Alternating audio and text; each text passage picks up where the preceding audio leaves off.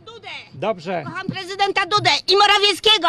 Każdy... A wie pan co? Mój wujek to walczył pod Monte Cassino i zdobyli kurwa ten klasztor benedyktynów.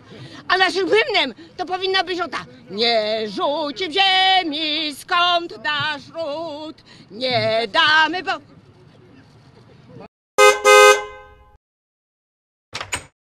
O chuj, przepraszam.